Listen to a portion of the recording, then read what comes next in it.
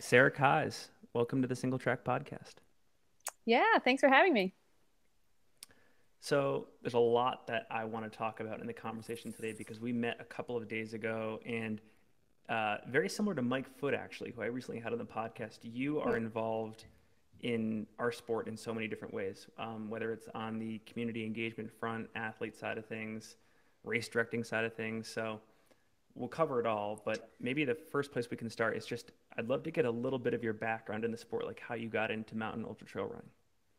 Sure. Um, let's see. So I started my first uh, ultra marathon was the Wakely Dam Ultra, which takes place here in the Adirondacks. It's on the Northville Placid Trail, um, and that was in I want to say it was 2014. I think was my first. There's no aid stations for that, right? It's like a unique race. Correct. Well, there's like two, and but they're very minimal, if at all. You know, you can't expect them to be there. You know, it's like a um, volunteers hike in miles, you know, to get there. And so I think there were two, and they did have like, I think I got like a Snickers bar or something. Really, you know, like that was key. um, but that's one where you have to like you're self sufficient. You have to bring your own like water purification. Um, which you know like if anyone's familiar with the northville placid trail or the adirondacks there's a lot of water available typically um, but it also means that wet feet and there's that race is well known for the horse flies and deer flies that get you and they give out in their um, uh, gear bags like little these little sticky things that you put on your hat or your like the back of your pack or somewhere and they like attract the fly so then they land there and can't get off. So there's all these great photos of like these uh, little like pieces of tape basically that are covered in deer flies at the end of this that race. But um, so that was my first race, and uh, it went great. Um, I did really well. I ended up, you know, first female, um, and I think in the top five overall actually for that race. Um, but I was talked into going to it by a friend of mine, Jan Wellford, who lives here and is kind of a very much a local legend. And I like to call my sensei, sort of, or, you know, my mentor when it comes to uh, athletics. But um, he was one of the first to, you know, start going for speed records here in the Adirondacks. Um, you know, and started as a hiker and then, you know, trail running. But uh, so he talked me into going to Wakely. And um, so that was, that was super fun. And then he also talked me into doing um, Vermont 50. So that was my first 50 miler over in Vermont. And that went, went really well also. And that was, I guess that was in also in 2014. I can't remember now if it was 2014 or 15, but um, was a really fun event. You know, it's both a mountain bike ride and a, um, a running race. So you like are kind of going back with mountain back and forth with mountain bikers and um, just a cool community event that's been around for a very long time. Um, and razor for Vermont Adaptive, and so it's it's just a cool cool race. That's it's really friendly for beginners too because there's a lot of dirt road and you know some single track, but it's not like super intimidating, I guess. Um, so that's where I kind of got started. But you know, of course, like starting here, I wasn't like as a kid, I wasn't super competitive. I didn't really do sports. I wasn't like you know, a typical like cross country runner or even track runner. I think when I did um, track and field, I would do discus because I was like too anxious to line up on the start line and, and actually sprint in a like the the sprinting races. Um, although I did do some, but uh, that's why I chose to do discus instead. And then um, when I tried out for cross country, I think I went to one practice and never went back because I was like, this is not for me, and barely could finish the mile run, you know, or whatever was the training run for the day. Um, and that was in like middle school, you know. But then after um, high school, I I found like trail and mountain running um, you know, after doing a little bit of traveling, I did an AmeriCorps program right out of high school and came back here. And, uh, you know, and part of AmeriCorps is like physical training because it's a government based program. And so they make you run, you know, like 15 minutes or something a day. Um, and so I continued it once I got home and, and took it to the trails and to the mountains. And um, yeah, I kind of went from there. But that's kind of the, the general background. Well, one thing that I want to touch on because I was doing a little bit of research for this show uh, typed your name into YouTube, and there's a bunch of really cool videos. I think La Sportiva did one where you're mm. living out of your van or your truck with your yeah. dog, and you're sort of traveling the country and prepare, you know, training on the road, getting ready for events. So, where did that whole idea come from? And maybe talk about that experience a bit too. Sure. Um, so, That was um, in 2017, the video you're specifically talking about. And that kind of uh, was born from an opportunity where I was given a sponsor position for Western States in 2017 um, through Julbo, which is one of my sponsors still. And um, yeah, so I try to like come up with a plan of, you know, how best to train for Western States, you know, without really knowing that much about it, honestly, at the time. Like they offered me the, the position and I was like, yeah, of course, you know, I, I know it's a huge deal, but I didn't, didn't really know yet, you know, how big of a yeah. deal. Um, but also, uh, just before that, I was, um, before the Western States thing, I actually had traveled a year before that um, out of the truck. I finished nursing school, and part of that, like when you finish nursing school, everybody's finding a job like immediately. You know, you want to just continue. And but I wasn't really ready for that. I felt like I really wanted to do something different before I like took a career position, and yeah. So I started doing um, some mountain running races out west and decided I would like live out of my truck while I did it. Um, and my first truck was a, a, Ford Ranger that had I had it was kind of like this really cool purple color and I found this like old truck cap off of Craigslist and it was like full of like chrysalises and like bugs when I bought it and spray paint or spray washed it and then spray painted it like a bright pink color. And so that was like what I lived out of, which was super fun. And um, part of that I think is is just like I, I, like to talk about like the frontier, you know, and like yeah. going for the unknown. And I think that's why some of us do these ultras to begin with. Um, yes. And so some of that was, you know, like, let's just go on an adventure, right? For four or five months. um, and some of that was also doing the US Skyrunning series too at that time, um, which was still in existence, which was a cool, cool series. But um, so then the video you're talking about was in 2017, so a couple years later, uh, getting ready for Western States. Um, and so I decided to do the same thing, you know, and, and live out of the truck and do a bunch of training runs and had some super cool experiences. Um, you know, did some some group runs with La Sportiva, you know, at different retailers and stuff throughout the country. But um, I used to actually do some tech repping with Sportiva too, so I kind of get the whole like all aspects of uh, like brand representation from athletes to actual sales, like in brick and mortar. But um, yeah, so it was a super fun project to like also not make it all just about Western states. You know, like sometimes when you put all of your eggs in one basket, it can be just pretty disappointing. So my thought was, why not like make a really cool adventure where I like go do a race near the Grand Canyon and like go to like Death Valley and like do all these like interesting things you know, that um, are like bucket list items in their own right uh, before getting to Western states, you know, making Western states, you know, the finish line to make it there, but uh, not put all the pressure on it, I guess. One thing I'm really curious about there is the lifestyle part of it. When all was said and done, were you ready to be done with it, or was it something you could see yourself doing for months and years on end? Because, and I'll just say, just for context, like I through hiked the Appalachian Trail. I guess it's eight years ago now, and the day I finished the trail, I was not ready to be done. It was such a paradigm shift, and yeah. I'm like, I'm I'm down with minimalism. I'm down with just like you know type two fun and and like low grade exercising all day and just being in the mountains. I'm curious uh, what your experience was like when it was all said and done. Yeah, for sure. I think one of the coolest things is like, yeah, that like feeling of man, like running water is really cool. you know, like having access to like heat whenever you want it is like, you know, should be valued, you know? And I think yes. um, we all, we lose that because it's, and it's easy to, right? Like we all have these things available to us. But uh, when you decide to like step away from that and live very minimally, right? Like, and have to cook on your tailgate every day and, you know, like, make sure you have enough gas in the gas tank and enough water and like the bare minimals, you know, things that you need to like yeah. kind of be off the grid for a week if you need to. Um, so yeah, I agree. I think I was definitely, it was also like encroaching on winter, which is a whole nother game if yes. you're trying to live out of your vehicle. But um, yeah, I think I, I could definitely do it for a long time. I, you know, my dad uh, is kind of like, does some of this stuff. He lives out of a scamp trailer. Have you ever seen those? It's like kind of the original, um, like teardrop. Well, it's not teardrop. It's like a pill shaped uh, tow behind. Yes. yes and yes, yes, uh, so he has one from the 70s that he found, and so he like lives in Idaho in the um, kind of summer months, but goes to Arizona for the winter. And so like does these caravan trips and lives out of his trailer and has a has a house in Idaho, but um, you know, prefers to be like him and his dog, like living in the desert for several months, you know, probably like at least six months out of the year, I guess he does that. And so I think I look at that as like, man, yeah, like what, what more do you need sometimes, you know? But yes, yes. Yeah.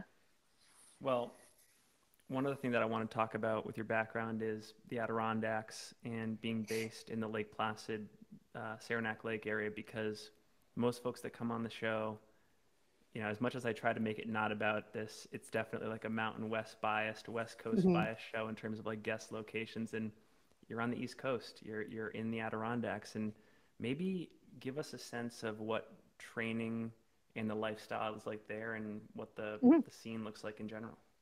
Sure. So um, for those who like aren't familiar with the Adirondacks. Um, it's a pretty unique place. It's um, so where I am in Saranac Lake is like probably an hour and a half from the Canadian border, so quite far north, and then like two hours from Vermont, so pretty much like smack dab in the upper uh, part of New York State. And the Adirondacks are kind of a park, you know, like a national park, except you can own property within it and live within it. Um, and there's different restrictions, but it's a six million acre park that uh, so that's like Grand Canyon, Yellowstone, and like a couple others like put together, you know, so it's huge. Um, and then there's wilderness area that is, you know, so it, this happened in the 70s when the government, you know, they decided to protect this area. Um, and so they created the Adirondack Park Agency, which then like sort of broke apart different land use types. Um, and so like Saranac Lake and Lake Placid are to, uh, so Hamlet's meant to center development um, and you can you know then around it there's industrial land but there's also then wilderness and wetland and all these other things.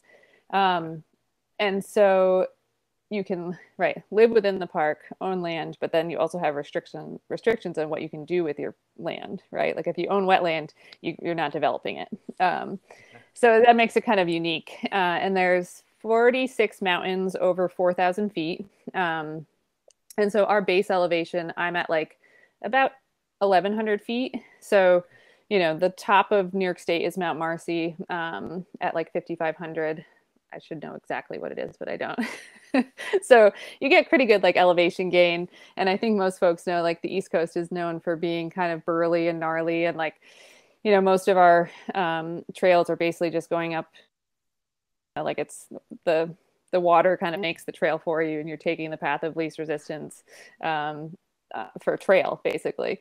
And um, yeah so the high peaks region is what most people know like the adirondacks by pretty much. I mean i think you could also argue a lot of folks um, come to the adirondacks just to camp or canoe.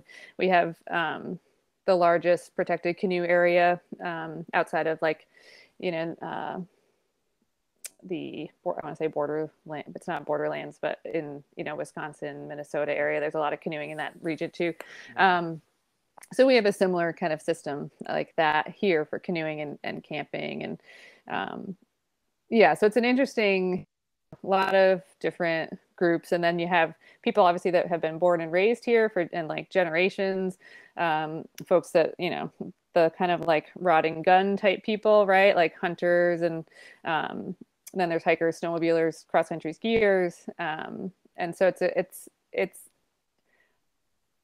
I guess I always thought there would be some place else that would like another town somewhere that I would drive through and be like, oh, this is the place. Like this is where I want to be. But it always has just been here. um, you know, with all the traveling I've done and like exploring and driving cross country, like now several times, uh, I always just end up wanting to be back in Saranac Lake.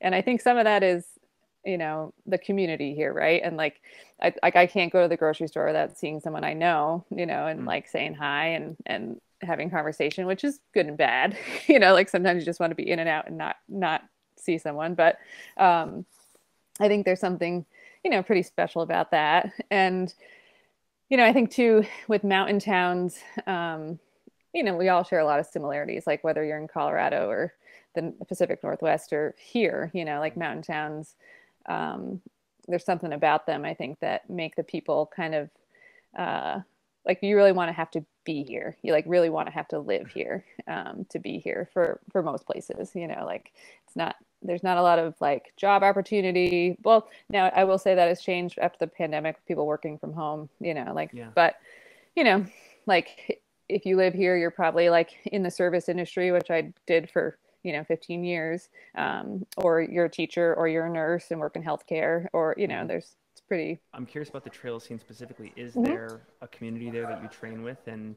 maybe also talk about like any races in the area or because it's protected wilderness area are there mm. limited racing options and it's mostly like fkt type stuff for example yeah so um, you know it's it's certainly changed i think over the last decade you know and when i started like running in the mountains here um, there really wasn't that many folks. Like it was me and my friend Jan, who I mentioned earlier. You know, he'd be out there, um, and of course there were always like road runners. We have a um, Lake Placid has the Ironman, which is one of the oldest. Um, I think Hawaii being the other uh, oldest Ironman. So um, you know, it there's sports here, and obviously we're an Olympic town, right? Lake Placid's an Olympic town, so there's a lot of sport going on here, and there's a lot of um, like road running and road cycling. Um, and there's actually quite a good mountain bike scene here too. Um, and so there's people out there, but I wouldn't say the trail running scene um, has really caught up here. You know, I think it's going to. I think there are going to be more. Um, you'll see more people, and I do see like even through the pandemic, just more hikers, and so I think it'll mm. catch on. You know, we mm. we saw a huge influx of like first time hikers. Um, in 2020, I guess, right after the pandemic started. Um, and so I think those folks, you know, wanted to experience it for themselves. And then I think, you know, they'll start running as I did. You know, like I started hiking and then I was like, oh, right, I could do several peaks today if I ran when I can. You know, I like to joke and say that mountain biking and, and trail running in the like in the Adirondacks is really just like fast hiking most of the time. anyway, but um, so yeah, I think the the trail running scene um, has some catching up to do, you know, but at the same time, you know, I don't necessarily mind being, you know, one of a few uh, out there, I guess, running. You know, it's sort of, um, I certainly didn't get into it because I wanted to be spending time with a bunch of other people, I guess, which some of us, I think, feel that way. But, um, you know, there's something special, I guess, and, and part of the reason I got into mountain running was like for the solitary time, you know, mm. out there, I think. Mm. Um, but that being said, like, um, my boyfriend's a uh, professional obstacle course racer, and so we train together, you know, in the high peaks and, and running mountains, and that's kind of how we met, actually, because again, there's not that many people doing it, um, but and then we have good friends who um, will come run with us and train with us too in the high peaks, but um, yeah, so it's it's growing, but again, it's yeah, I wouldn't say it's like a bend or like um, even in North Conway. You know, I think they have a in New Hampshire they have a bit of a stronger trail running scene there for sure. You mentioned yeah. Lake Placid being a former Olympic town. I think it was was it the 1980 games? Are there still um, any... yeah 1980? Sorry, yeah, yeah 1980 and 1932. Um, Oh wow. There's okay. two. Yeah. Well, are there any um are there any athletes that still train there for any specific events and you link up with them for various types of training? Yeah. So um like gosh, we've put out several um like I grew up with several Olympic uh biathletes and Nordic skiers and Nordic combined, which is a crazy weird sport of like Nordic skiing and then ski jumping. um, one of the really cool things I think about Lake Placid is that you can literally like do ski jumping after school. Like that's like your after school sport is to go to practice ski jumping. Um, and there's like probably I think just here and maybe like Park City has ski jumps from the Olympics I think too. So like there's very few places you could like do that sport as a child. You know, like young kids like seven eight years old like going out there and, and learning how to ski jump. Um, but that being said, yeah, there's a Olympic training center here as well, and so in the summer months, like there's um, the biathlon team and this the Nordic ski team will be here to train and like do roller skiing and stuff. And so, um, like over the years, I've definitely had friends that were you know Olympic athletes that I got to go out and run with and stuff. And um, like Corrine Malcolm, that's how her and I met. Actually, she oh, was very cool here training for the on the biathlon team, um, and that's we would go out and, and run, and that's how I met her. So that was, yeah, like over a decade ago now, I guess. But yeah. I went to sc- I went to high school with a woman, Clare Egan. She was on the U.S. biathlon oh, yeah. team as well. Yeah. I think she was training up there as well. Yep. Um, yep. that- that's such a cool sport. yeah it's really pretty interesting you know i mean it, i find it um you know like to be able to redline and ski at such a high effort and then have to like just quiet like it's such it's all breath related i would think you know and then have to like quiet your breath down and your heart rate to like concentrate and aim a gun. Right?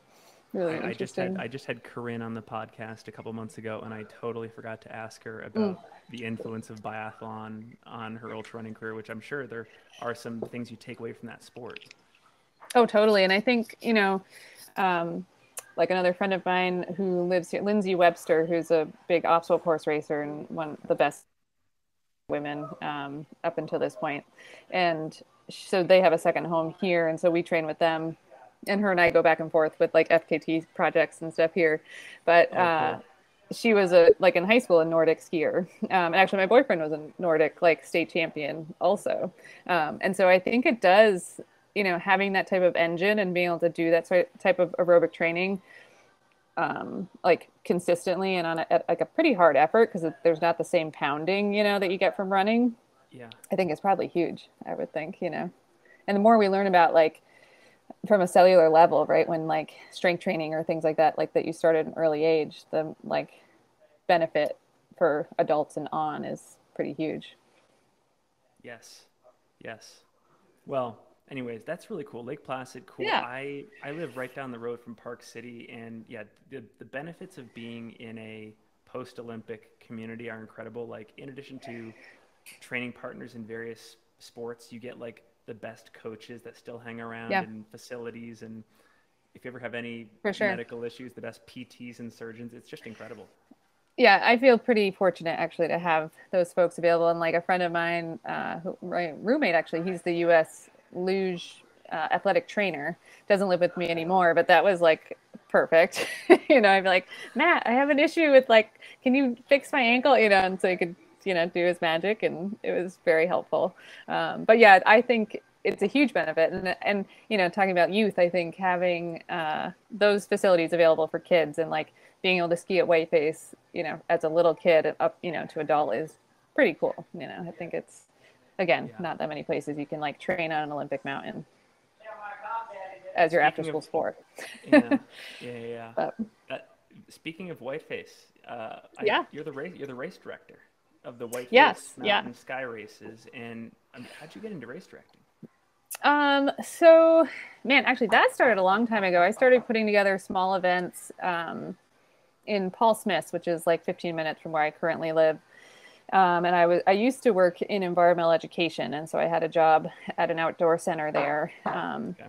basically as you know, like doing public programming, but was getting into running myself, and thought how cool like these trails are perfect to hold a trail running event, and so um, the couple of years that I worked there, I did put together a couple of different series of races there um, that still happen actually. Like they're still ongoing, which is pretty fun.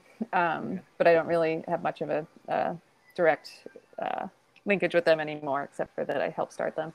But um, yeah, and so I've always just been like excited about, I guess, bringing people together in that way. Like we used to just do fun runs too, like out at that outdoor center um, once a week. And like some of those people are still friends from meeting, you know, at those types of things and like still go out and run together, which is really cool.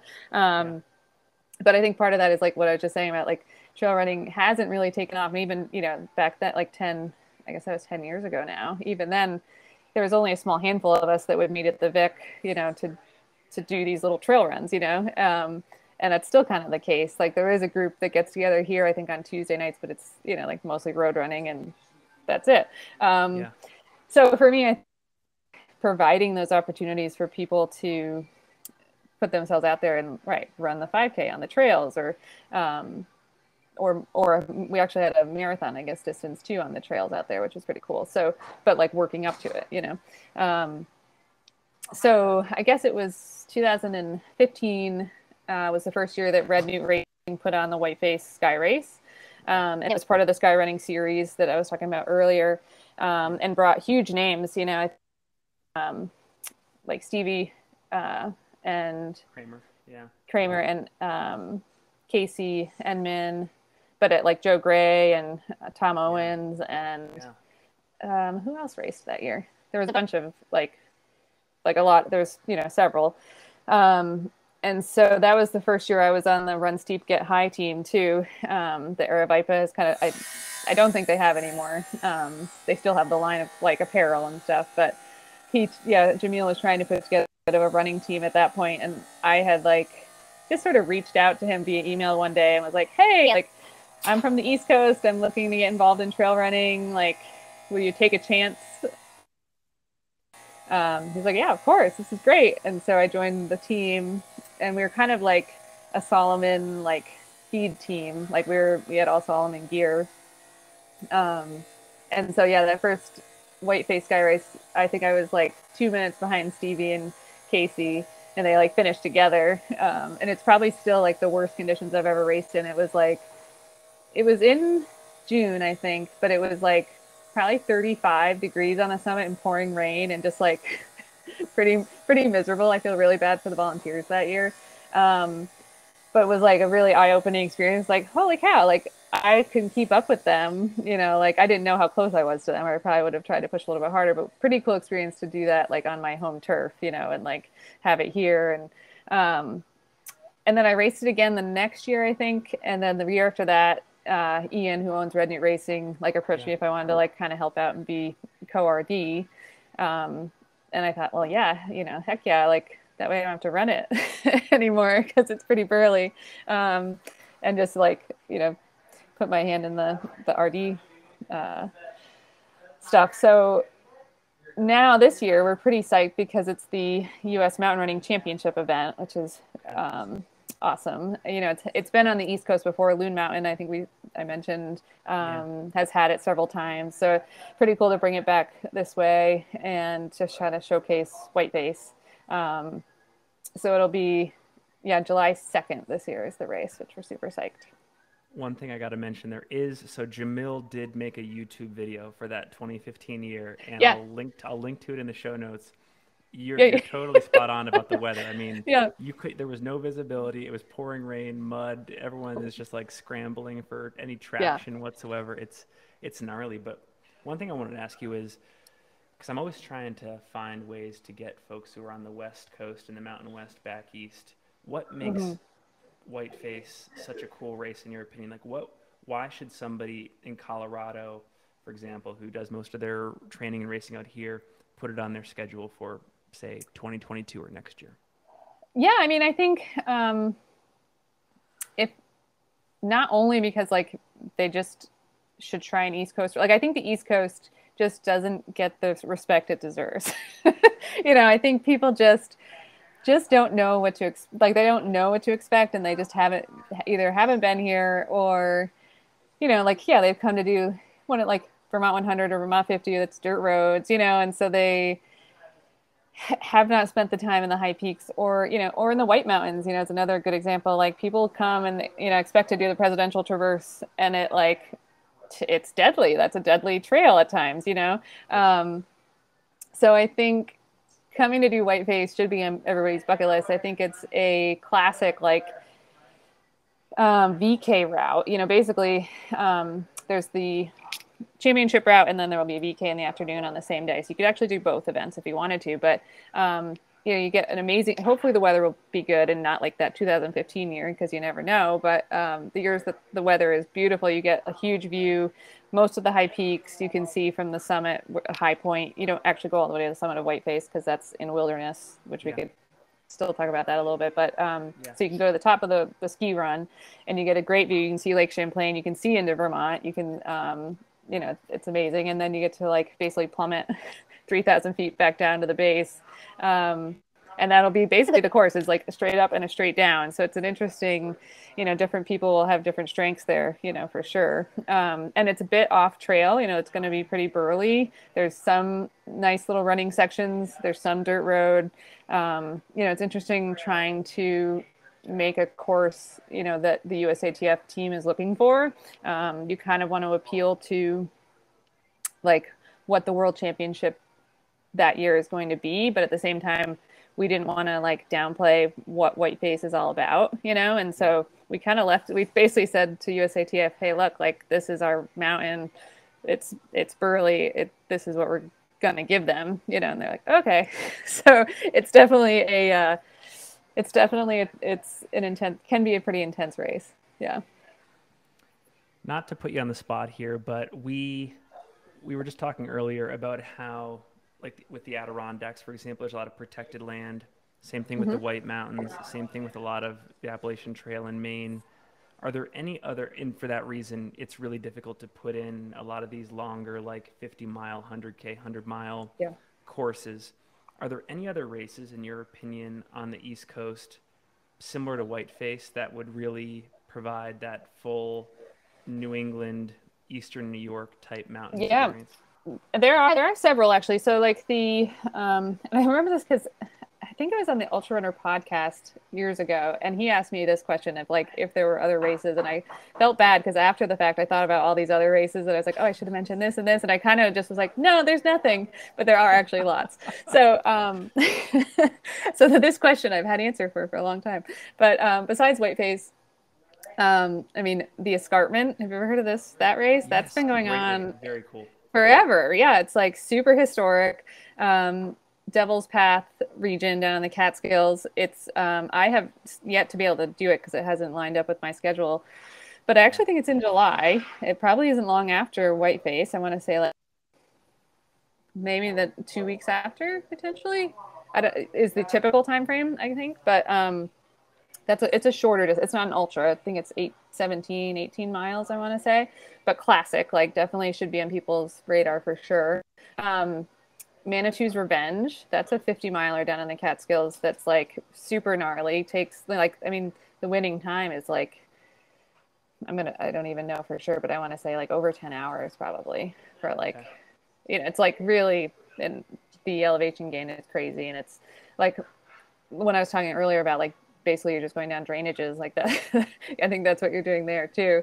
Um, and then there's like um, there's a couple of races like Vermont has what used to be called the double up. I don't know. I think he changed his name though. It goes like from Stowe in uh, Mountain. Yeah, yeah. Um, gnarly. And so that takes you, yeah, super gnarly, and like takes you up to the top of Mount Mansfield, the point in Vermont um, on the long trail runs like right over that as well and that's like really kind of pretty like iconic beautiful view to like be on top of mount mansfield up there um, and uh, also protected though i think he puts a limit on his entrance i want to yeah. say because like of that really yeah, so there same here. Like they, you have to apply for a permit from the state in order to hold an event in wilderness. So for us, like my favorite race of all time um, that I didn't mention earlier, which I thought of, was the Great Adirondack Trail Run, and that happens here in Keene Valley.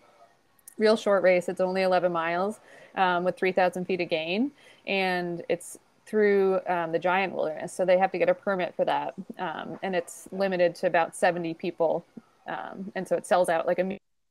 Um, and they do this cool registration system where you have to call the store um, at 8 a.m. on the day, and like it fills up in like 18 minutes or something. Like it's super fast.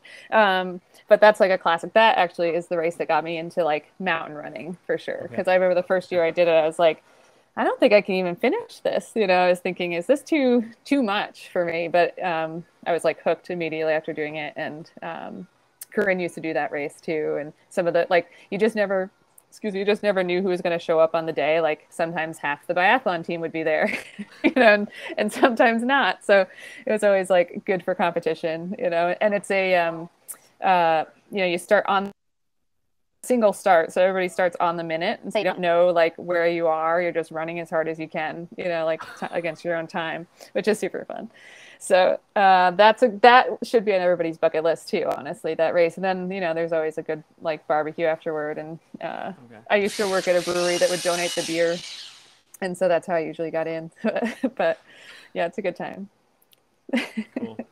um, but there's wow. there's others in, i want to say in, in, new hampshire too there's um, um, oh i'm forgetting her name she used to run for Balsick. She puts on some races in New Hampshire. Hopper? Yeah, that's Rock Hopper races. Yeah. Yeah, and so they have some cool events. And then um, my business partner Hillary McCloy, her other half Andrew puts on a last man standing uh, running and skiing race in New Hampshire, which is pretty intense. Um, they just had their last man last skier standing uh, a couple weeks ago, which is pretty cool. Oh. But there's yeah, so there's tons. Like once you're in, you know, like once you come over, you're like, oh yeah, there's tons of cool stuff happening. It's just yeah, and then of course Eastern Mountain States too. So there's there the Eastern Mountain, or um, am I saying that wrong? Eastern States 100, I guess it's Eastern called. States 100, yes. Yeah. Yes, in Pennsylvania. Yeah, and Pennsylvania. Oh, there's more too. So Pennsylvania, there's Hyner. Have you ever, have you heard of Hyner? Yes. That's a through, uh, classic. Zach Miller. Yeah, I think Zach Miller made Yeah. that kind of popular here. Yeah, it's um well, it used to be part of the La Sportiva Mountain Cup that they had um years ago, and th- so that series races hasn't been a thing in a while, but that was one of the first series that I knew of that like offered prize money, um, and so Hyner was part of it. There was a race in Park City. There was a ra- another. There were kind of shorter distance, you know, like Yeah. um, races, but Hyner's a really cool one too. I mean, that's one that I think has like over a thousand people start up and line, like race that event. So it's like huge. Yeah, Hmm. that's a good one. well, I want to come back to uh, Whiteface for a second because you mentioned Mhm. that it's about to be the U.S. Mountain Running Championships, and maybe we can also have a discussion after this about ITRA and all the different Sure. governing bodies in our sport too, because I think Mhm. you're a good person to talk with, talk with about this, and even myself as a fan of the sport, I try to stay up to date as possible. I'm a Mhm. little confused. So, what does it mean when Yeah. you say that Whiteface is the U.S. Mountain Running Championships? So um, every year, USATF selects a race that will be the U.S. Mountain Running Championships um, and selection race. So they use these events to select the U.S. team that will go to a World Championships. Um, and so, yeah, it's, it's a bit convoluted, I guess. So I am on the ITRA steering committee, um, which doesn't really have anything to do with Whiteface. That is separate. However, I just have, uh, I guess, more knowledge, you know, how the whole big scheme works. But um, so two years ago, ITRA, uh, World Mountain Running Association, and the IAU came together to create one world championship um, rather than a separate world mountain running championship and a you know ultra running championship um, and then a trail championship so we wanted it all one and that's what we we have uh, succeeded in um, and so the us is using whiteface as their selection race for that world championship which will be in thailand. Um, and it was supposed to have happened now and you know a couple years ago with covid obviously everything has um, been pushed back. Um, and so the usatf uses a system you know like joe gray and grayson murphy have um, a place on the team already you know from prior wins. Um, and then there i don't think there's any others that are guaranteed spots yet so unfortunately the folks who were selected for the team last year in Oregon have to re-race this year, which is unfortunate um, because the World Championships didn't happen last year. Um, but also sort of makes sense, you know, like you have to select the team for the year. Um, but yeah, so then the USA, USATF uses our race plus, you know, resume um, or other race results, those sorts of things to select the team. But our race will you know whoever places in our event will be selected for the team and then they have some other spots available um, so if you don't come to our race like you, there's still an opportunity to apply you know um, so from there the us team and i should have pulled up sorry i didn't pull up the exact numbers like i think we're sending over 30 people from the us for the trail world championships um, which you know USATF supplies some funding, you know, that we do some fundraising. You've probably seen it in the past, like I think Trail Butter like did some fundraising for the US team at, you know, at one time. Um, and so there's some other ways for them to try to get funds to send these folks. But um, I do believe there is some funding already set aside, you know, for travel uh, and housing and that sort of thing once you, you know, are selected. Gotcha. And then, so on the ITRA side of things, um, we yeah we've been working to be recognized by World Athletics um, for a number of years. Like even prior, I've been on the steering committee now since 2019, um, which we can get into that conversation now if you want to. I guess. Yeah, well, one question I had on the um, on the, on the mountain running championships front first is mm-hmm. what distance is, what distance does that go up to? Is it up to 25k or is it 50k? So um, our race is um, it's like seven miles, um, and then there, we have the VK as well. But okay. the championship will have several distances.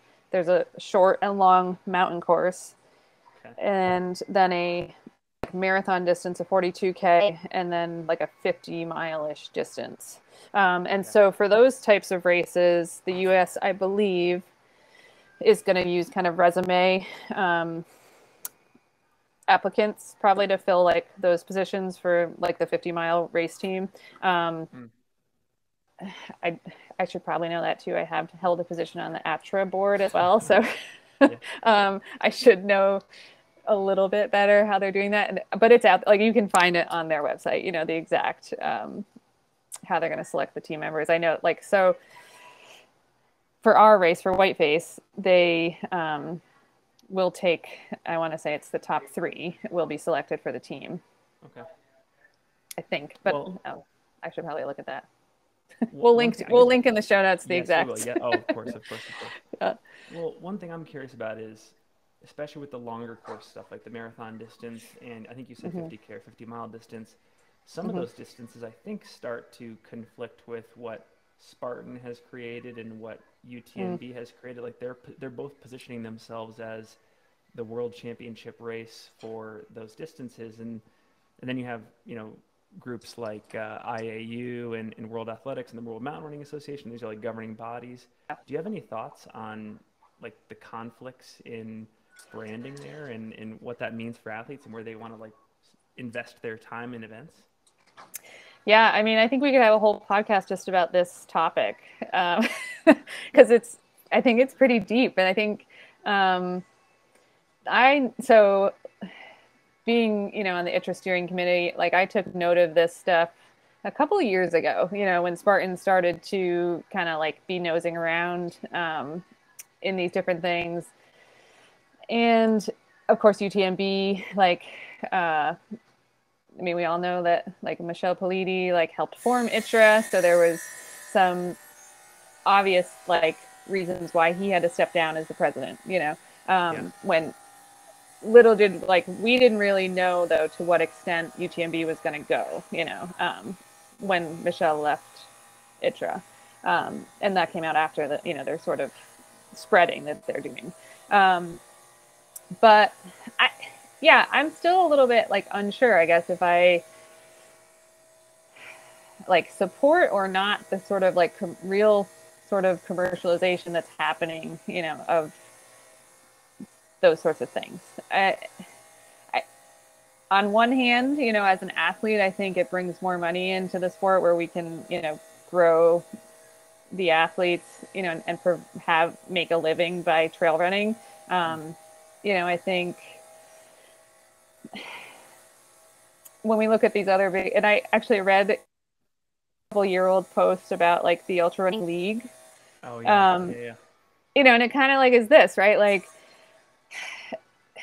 I, I wish that somehow we could all like, yeah, agree, right? Like that Spartan Trail and UTMB and ITRA and ATRA and like everybody could kind of come together as this like you know who, uh, but who do you take from each group to like make these choices and blah blah blah but like i wish there was a way to put them all in a room and say like you guys like no you know if the more we like spread this out and the more like diluted it gets yeah. the less good it is for everyone right i i mean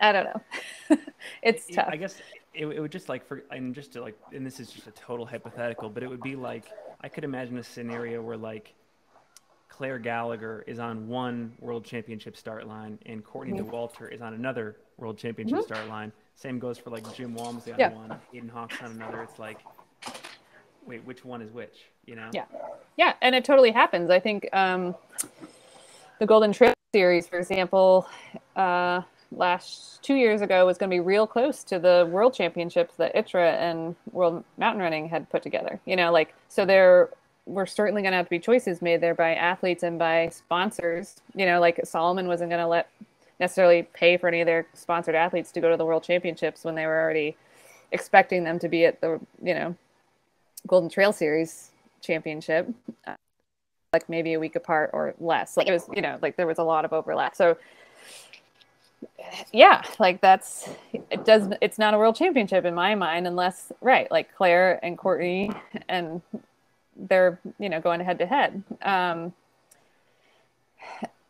yeah, and so I don't I think it's I think it's good for the sport on some levels to like have these, you know, folks coming in that can help to grow it, but I also just it, hope they do it in the right way, you know. And like I think part of like why I joined ITRA to begin with was because we all just were diverse population, several different countries represented on the steering committee, but we all are there because we care about trail running and not losing, you know, the basic values of it.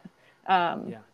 And so it's hard to say, like, until where these um, groups take the trail, you know, like, where does Spartan Trail end up and, like, do they lose the values? But it, I find it probably would be hard considering all those races they purchased are long standing and have their own values, right? Like, I don't know. well, talking about ITRA now, and just and maybe I can try to describe it in the ways that I understand. You can correct me if I'm mm-hmm. wrong, but ITRA is not a governing body. It's more of an educational slash cultural organization that serves the purpose of taking what's been good about the sport for the last couple decades and making sure that as the sport grows, uh, newcomers to the sport can appreciate that history and hopefully they're also practicing what's good. Is that correct? Yeah, I think that's a, a great description. Yeah. Um, okay. And you're very you're right on the money that like we're not a governing body. We don't have people that can go out and like um, go to a race and say, "Oh, you didn't follow these, you know, like guidelines that you signed." You know, like that's not we're we're not doing that, right? But yeah. um but again, maybe that's where we go and have officials someday, right? Like there's trail, there's USATF officials that go to their events. Like somebody needs to create like ultra running and trail running officials, right? But then it yeah. becomes even more like, well, what is trail running? Like sky running has its own definition, right? Trail running actually kind of does have a definition. If you go to the ITRA website, there's sort of like a de- definition there, um, right? Like mountain running versus sky running are kind of a different. Running can be on road or trail or you know whatever. So it's uh, yeah. Well, yeah, but I think one interesting thing about this, I, I yeah, to prep for this episode, I listened to a conversation mm-hmm. between Bob Crowley and Jason Koop, where Bob goes through what interest stands for, all that kind of stuff. And one interesting point he mentioned is every single country, I believe, that's in the organization has um, not officials, but they're like these educators. It's, like mm-hmm. an army of trail running enthusiasts that go back to their local communities and they sort of spread the gospel about what's good.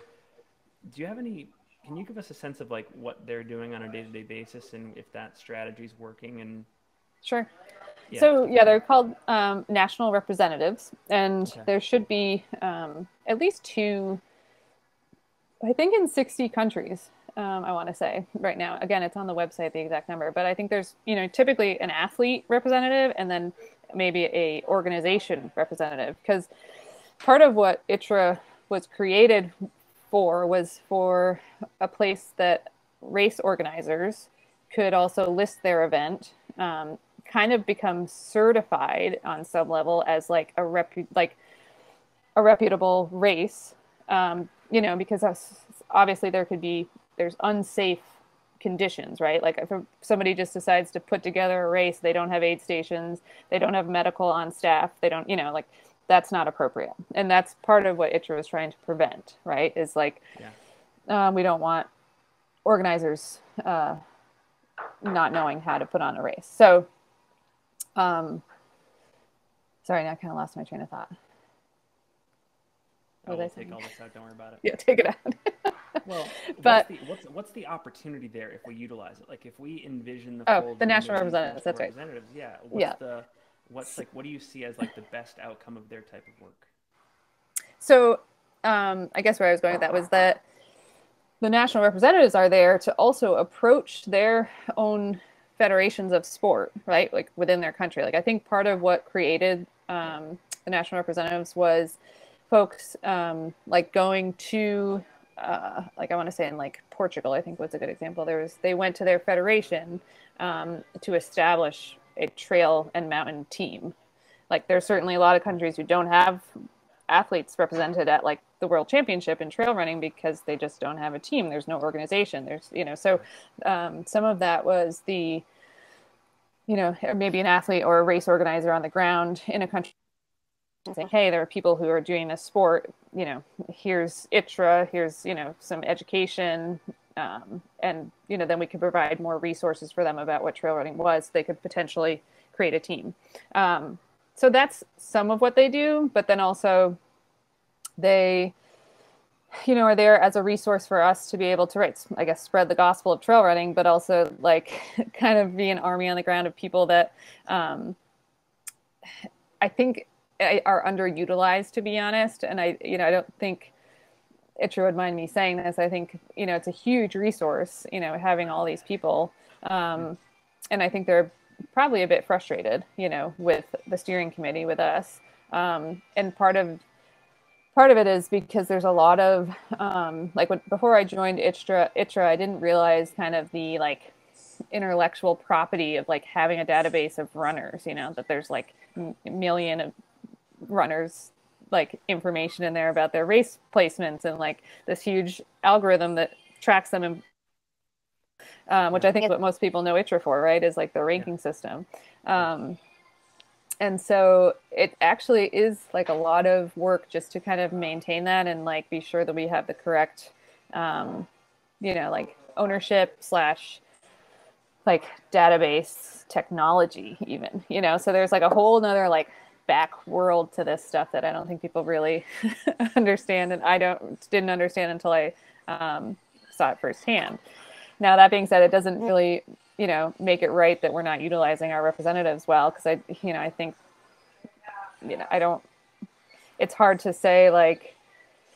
I think in the, the grand scheme, I guess I should say like there's big goals of like utilizing them to establish like um, which I think Bob was big on like a um, uh, runner exchange, right? Like somebody from Portugal comes to the U.S. to run Western States. They know they're going to have a, a, pacer here and a crew, um, and maybe the representatives help to establish those sorts of things. You know, and same like if I were to go to like, um, you know, Croatia, right? Like to run a race, um, the representative there and or race organizer can help me like find housing and do all these things. And I think um, it seems like that should be kind of easy to do, but it's not to like set up a, you know, a whole system uh, like that. So, you know, I think part of why I joined ITRA as an athlete was to help represent the athlete's uh, voice.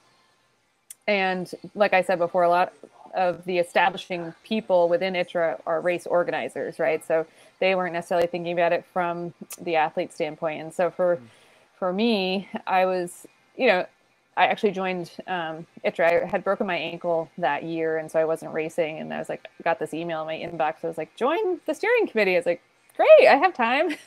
Why not? Um, yeah. And so I did, you know, and as a way to stay more involved in the community, you know, and stay involved in running, um, yeah.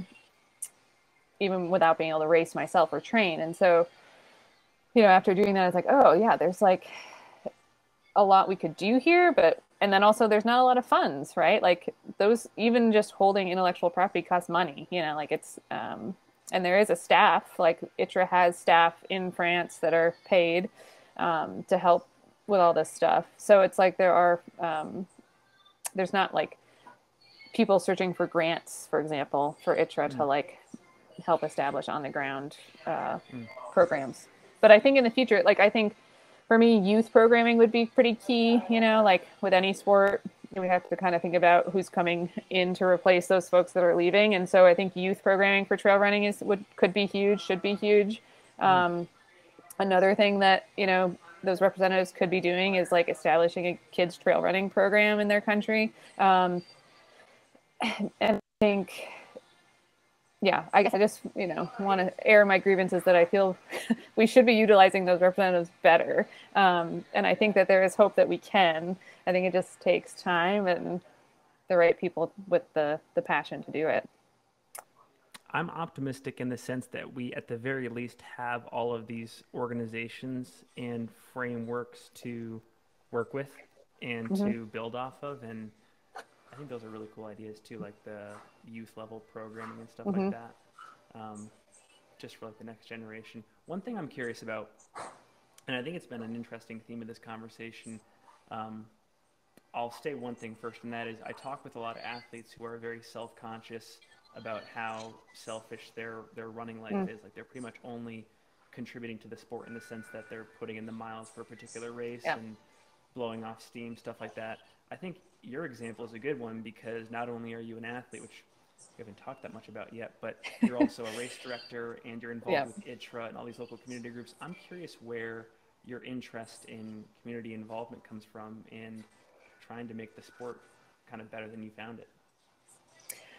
Yeah, I mean, I guess I could also say that's kind of selfish, right? Like it's to stay involved, you know, like to feel like I'm part of something. And I think that's, you know, from like the overall ego standpoint, right? Like sure. we all want to feel like we belong, right? We all want to feel like we're important and that we're contributing to something. And so for me, um, I found trail running a long time ago, but I don't think everybody finds that thing for themselves. You know, like I remember um, seeing a live concert with Rodrigo y Gabriela. Do you know who they are? And I saw them live in Burlington, I guess it was, and I was just like so like enamored with how they how passionate they were and like you should totally link to a, a video of them playing a live show in the show notes but it's like i remember thinking like i wish i could feel that way about something like i wish i could feel like just so encompassed and engulfed and like like in love with it.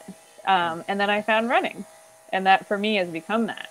Um, and so for for me, you know, it just makes sense for me to like do these other aspects of the sport besides just actually being an athlete. Um, you know, and like I said, like when I broke my ankle, um, it was a great opportunity opportunity for me to give back in other ways that you know I couldn't run. So, and I had all the, like I couldn't work as a nurse. I couldn't really do anything for, you know, a couple of months. And so, um, yeah, I decided I'd join ITRA and, and think about some other things. But I, I do think you can still say it's sort of selfish, you know. That's true. Yeah, but it is it is interesting to think about ways that you can contribute to the sport beyond just showing up to events and racing and finding mm-hmm. people to train with and maybe I'm also curious about this. Like, if, if there are folks that want to raise their hand and they want to get involved on like yeah. the political side of our sport or the environmental side, like, do you have any recommendations that come to mind either for like local community groups that are common or these bigger national or global groups? Yeah, I think um, like Clare, it's a good example of somebody who's really been into this, right? And like trying to get people involved with like protect our winters. Mm. Um, so I think there are some really cool examples of people doing just that. Um, you know, I think I'd gladly say like step up to ITRA if you're like looking, you know, to try to be involved in some way. I've I've definitely helped had other athletes, you know, in different types of um, you know little ad hoc groups that can help as advisors and that sort of thing. Um, and still glad to like work in that capacity with folks if they are interested in, in like trying to put together a youth programming type thing, you know. Um, I think for me personally, like I, um, I think really like when we get right down to brass tacks, the more you can do something within your own community or like work with a local trail building group, you know, like I think when you feel ownership for a part of your own community in that way, like when you really yeah. put like dirt under your hand and like help do something, um, it just makes the world a better place you know like it just like butterflies and like spider webs when when you like are just a good human in your community. Like i also think it's like probably like the age group that i'm in too now like i feel like it's my turn to like give back to to you know younger folk or like just back to the community. Um but yeah i've always had this thought that like especially with kids too like that's why like little paths to school are so important right? Like that go through the woods because they walk on the dirt. They like create a sense of ownership for the environment or for their trail or for their community and then it just makes them a better person you know overall and that can just like it just makes the world better yeah it reminds me i read this book maybe it was back in college it was called bowling alone and it was mm. about and there was there was a ton of stuff wrong in like the 50s and 60s culturally but it, it talked about how back in the day there were everybody joined like local lions clubs and VFWs mm. and guarding clubs yeah. and stuff, and then because you know people yearned for like individualism and uh, independence, they just left and they went back mm. to like their own devices. Mm-hmm. But now there's this thesis that like community is cool again, and people are yearning yes. to like work together, and I see it all around me, and I think that um, I don't know. I just bring it up because I think that even the trail running community has been affected by that like greater societal yeah. trend, and maybe we're gonna, you know, the pendulum always swings back and forth, and maybe um, what you do will be more common among more runners in our community. Yeah, I think um, for sure. I think that's just sort of a, you're right. Like it's uh, sort of societal, and I think with the pandemic and like being so like secluded for so long, people are probably like really yearning to have that type of connection.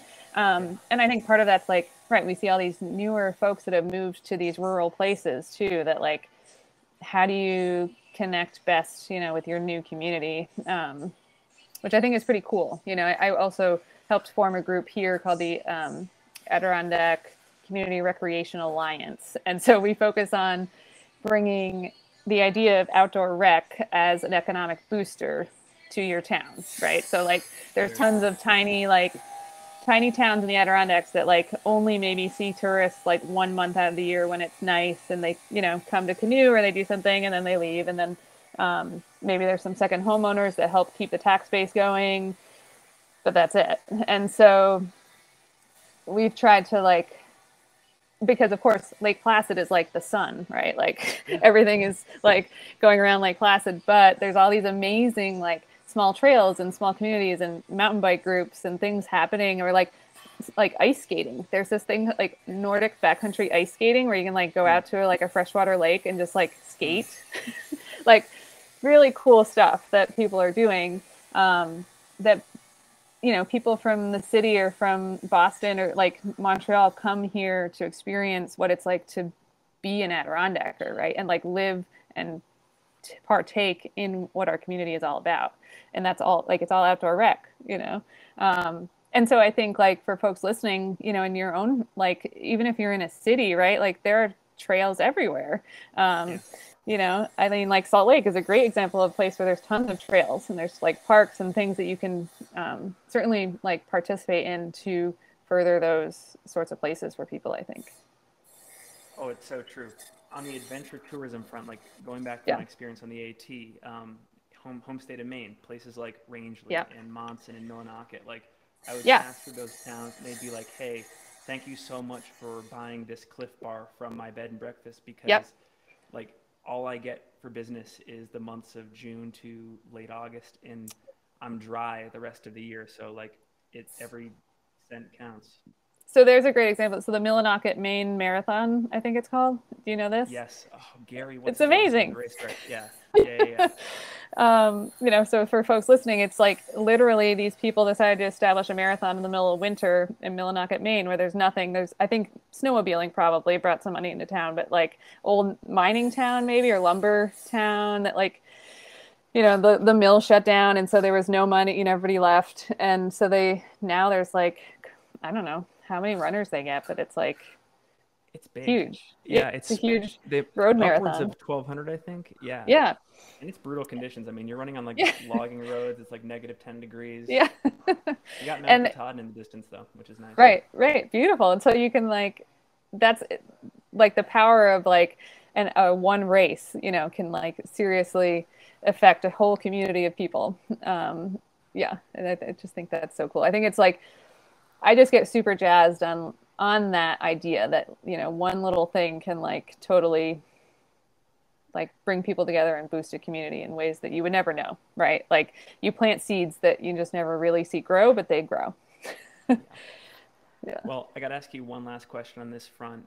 Um, if we are attempting to market the Northeast as a trail running Mm. destination slash potential mecca, um, what are some things that you would call out about what makes the region great for adventure, for races, for just being in our community?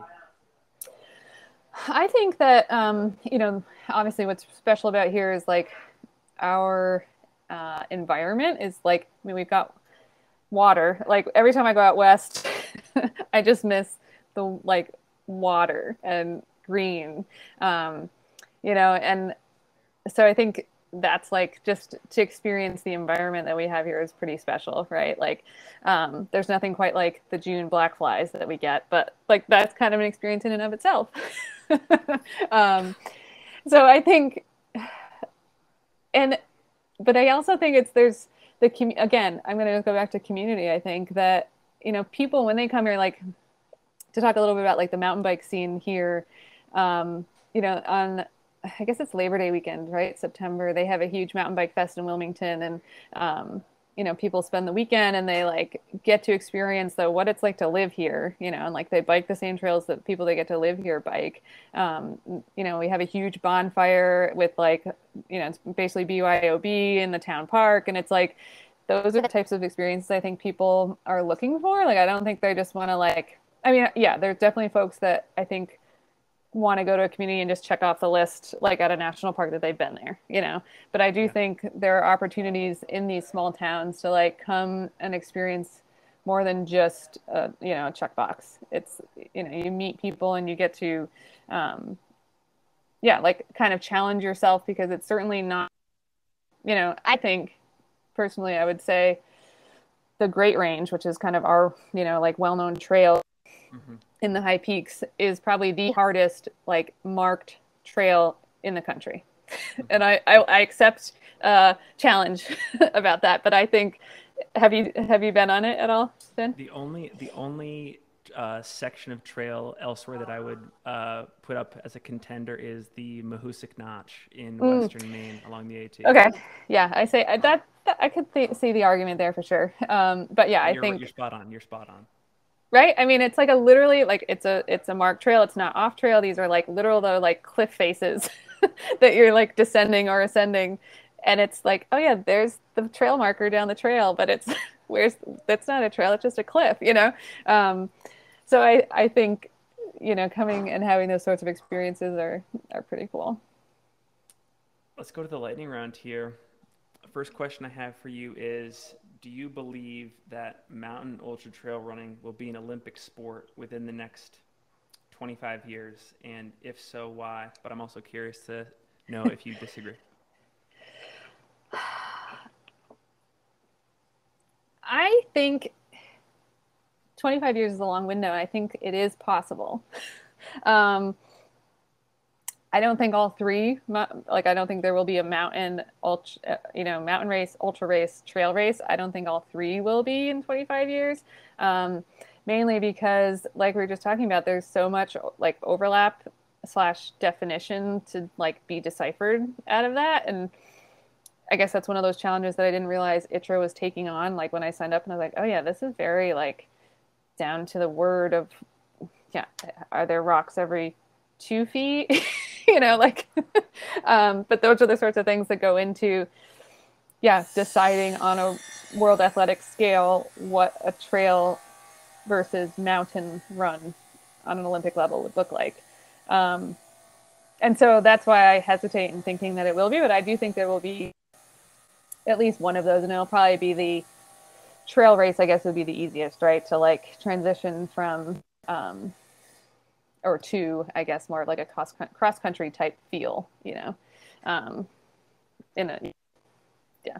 So that would be my my guess. Of course, it always and then it depends on like the host country, right, and like who's applying. Um, yeah. and would it be Summer Olympics or Winter Olympics? I think uh, so. I've done a little bit of snowshoe racing. So also, like I've done a couple of the World Championship snowshoe races, um, and so I could see that certainly being an Olympic sport too.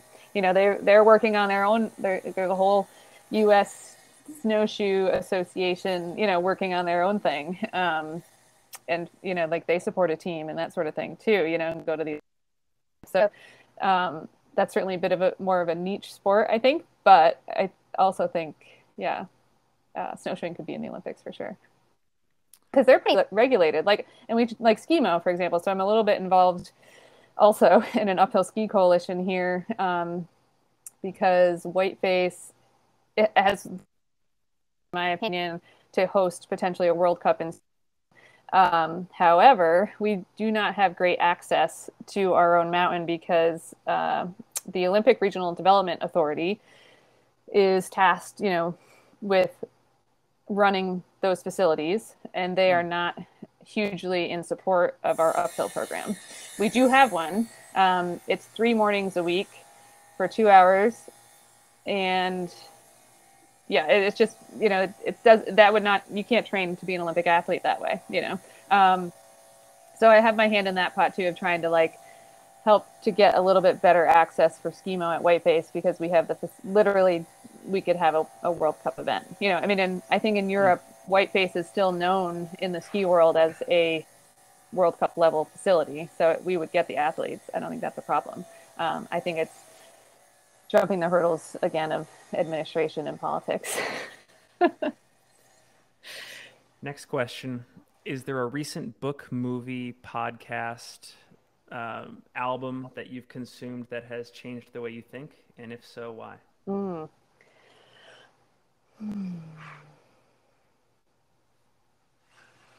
That's a good question. Um, I'll just say, my, like my probably all-time favorite musician lately. I, I mean, I could go back to the Rodrigo y Gabriela, like that, that's been kind of life changing. Yeah, it's pretty awesome. But um, Brandi Carlile definitely is like constant soundtrack for me most of the time. Um, like, you know, you have like that song that kind of pops on that you would like play in a cross country road trip all the time. Like, definitely Brandi Carlile's. Um, I can't remember which album it was now, but in that for that 2015, you know, living out of the truck, that was on pretty consistently. So again, super current, but I still listen to her all the time. and her her um, memoir is quite good too. Read that recently. Cool, cool. Last question I have for you. If you could put a message on a billboard for all to see, what would it say and why? Oh, this is an easy one. It would say believe. And I think most people, it's from, well, Ted Lasso. All time favorite uh, show, I think. I've watched it like the first season anyway. I think I watched five times. um, but, you know, I think it's like super important to you know whether we're talking about like athletics or like just you know life in general like believing in yourself or like believing in the cause or um yeah just keep keep the belief alive you know keep the hope alive. We will have to do a round two at some point because i'm looking at a list of like six more questions i wanted to ask. But until then um, if folks want to follow you, if they want to get involved in Whiteface or they want to follow your racing schedule in 2022, uh, what's the best way to do that? Um, pro- I guess probably Instagram is the you know where I'm most uh, present, and so it's um, I think it's Sarah Keyes runs, just one word right now. Yeah. And then you're a coach too. I am. Yeah. So I, I um, with uh, my friend Hillary McCloy, we have a coaching business um, called Eastern Mountain Endurance. So you can find info on there too if you want. Cool. We'll add the Instagram and the coaching link into the show notes. And Great. this has been awesome. I really appreciate the time. And like I said, we'll have to do a round two some point, maybe later yeah. this year, early next. And uh, Actually, yeah. One, what's your what's your racing schedule for the year? So um, my plan this year, you know, last year I did hundred mile races. I did two, attempted two of them. I did Western States and then attempted Run Rabbit Run, which I only made a little over halfway and ended up calling it quits. But um, so this year, instead of focusing on those super long races, I, I decided to do some shorter mountain running stuff, like kind of going back to my roots, I guess, of mountain running and short races. But um, so probably like uh, which are typically shorter. Um, the Spartan Elite Series, which has some pretty cool places, like it goes to Mexico and um, California and Canada. Um, and then my A race this year will be the UTMB CCC. So that's pretty fun. I'm psyched for that. Very cool. I'm, I'm yeah. psyched to follow. We'll put it all in the show notes. And uh, thanks again, Sarah. Great to meet. Yeah. Thanks for having me on.